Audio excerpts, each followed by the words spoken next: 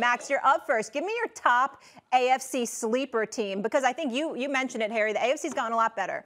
It's actually the Chargers. I think the Chargers, because I, I, can't say the Patriots anymore because they're not getting slept on anymore. I said that a couple weeks ago. I didn't hear a lot of people saying it. Now everyone's saying it. I won't say the Dolphins. I think it's the same thing. It's very Tua dependent. If Tua's good, Dolphins going to be really good.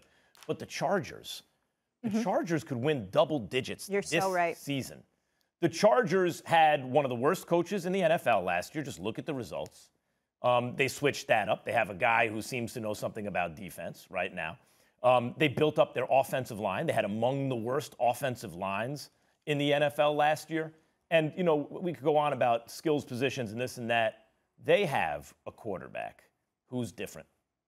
The Chargers quarterback is different. You know, there are two different kinds of quarterbacks.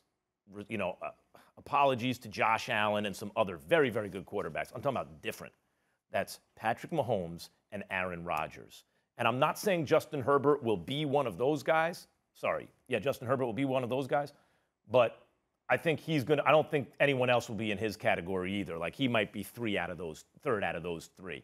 And when you have a quarterback like that, uh, who just had arguably the greatest rookie season ever, I mean, it's on a short list in the history of the NFL at quarterback with a team like the Chargers, who has a lot of weapons and, and looks like they've improved.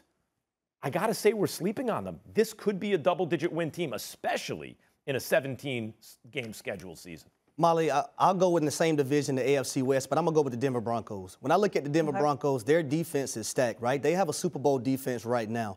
When I looked at their schedule, these, this team lost six games by a total of 24 points. You want to know the only knock on this team is, Max and Swagu? The quarterback position.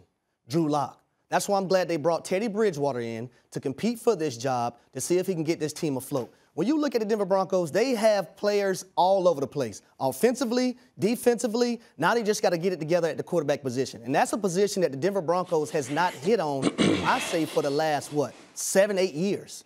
That's, what, that's what's missing. Last year, I didn't believe in Drew Lock because there was a lot of times out there in that football field when I watched film on Drew Lock, he's not going where the coverage is telling him to go with the football, right? So I see a tight end get they upset. haven't been able to develop a quarterback in Denver. Age old story. I see a wide receiver getting upset. But if they can fix the quarterback position, I think the Denver Broncos can have an opportunity. They're going to fix it next year with Aaron Rodgers. Yeah. And that was the talk well, this well, well, best if of Aaron luck. Rodgers go there. Well, best the of Denver luck Broncos to are contender. Well, best of luck to him, because damn it, they ain't fixing it with Teddy Bridgewater and Drew Lock. Listen, the sleeper in the AFC, who everybody disrespecting, is the Pittsburgh Steelers.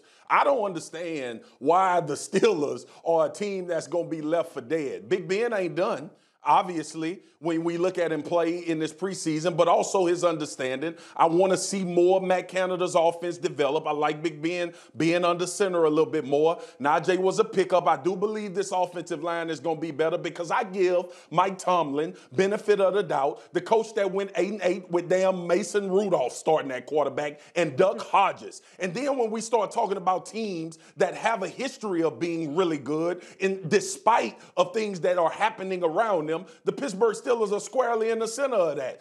And not to mention, this defense might be the number one defense when it's all said and done in the league, or they'll be in that conversation with the Tampa Bay Buccaneers and everybody else that's up there top tier. Denver, Don't Washington. sleep on the Pittsburgh Steelers. Love Cleveland, love Baltimore. The Pittsburgh no, Steelers fair. will not go silently into the night, and Ben Roethlisberger is not done. He's good enough to be supported by a good team to make noise in the NFL. It ain't the damn Denver Broncos, and the Chargers ain't no sleeper because the Chargers are going to be really good under Staley. And listen, the dribble about Justin Herbert, someone says it's not who I think is, is, Stephen is A. smiling somewhere. As L. Hold on. Is, I'm not allowed to take the Chargers, but you Josh take the 12 wins. Yeah, yeah, yeah. They won 12 games last no, that's, year. That's fair, Max. You're right. And Brandon Staley Max, was have you listened to everything people have said about the Steelers? All right. So I'm the only one who picked a sleeper.